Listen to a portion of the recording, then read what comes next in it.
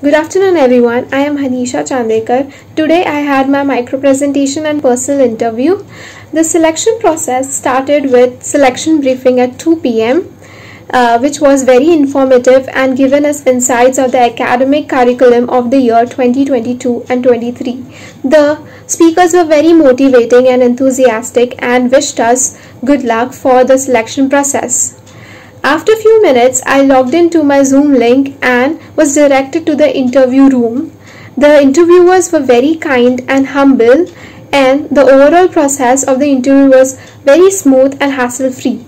I want to wish all the IBS aspirants a very good luck. Thank you.